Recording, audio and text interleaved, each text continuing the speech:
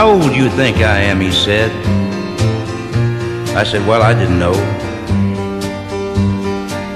He said, I turned 65 about 11 months ago. I was sitting in Miami pouring blended whiskey down when this old gray black gentleman was cleaning up the lounge. There wasn't anyone around except this old man and me. The guy who ran the bar was watching Ironsides on TV. Uninvited, he sat down and his mind on old dogs and children and watermelon wine. Ever had a drink of watermelon wine, he asked. He told me all about it, though I didn't answer back. Ain't but three things in this world that's worth a solitary dime. But old dogs and children and watermelon wine.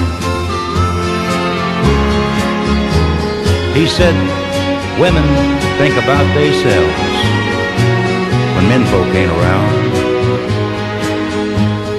And friends are hard to find when they discover that you're down.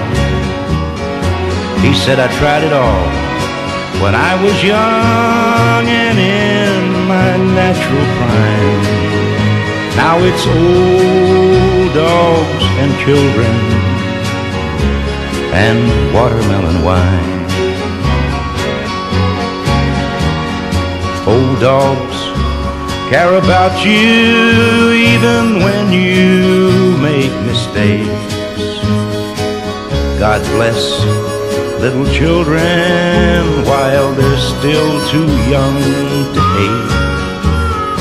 When he moved away, I found my pen and copied down that line about old dogs and children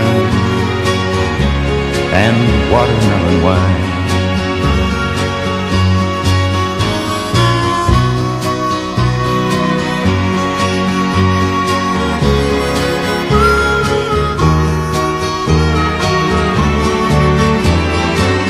I had to catch a plane up to Atlanta that next day.